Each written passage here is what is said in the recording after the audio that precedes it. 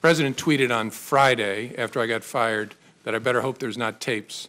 I woke up in the middle of the night on Monday night, because it didn't dawn on me originally, that there might be corroboration for our conversation, there might be a tape. And my judgment was I needed to get that out into the public square. And so I asked a friend of mine to share the content of the memo with a reporter. Didn't do it myself for a variety of reasons, but I asked him to because I thought that might prompt the appointment of a special counsel. And so I asked a close friend of mine to do it. And was that Mr. Wittes? No, uh, no. Who was that? A good friend of mine who's a professor at Columbia Law School.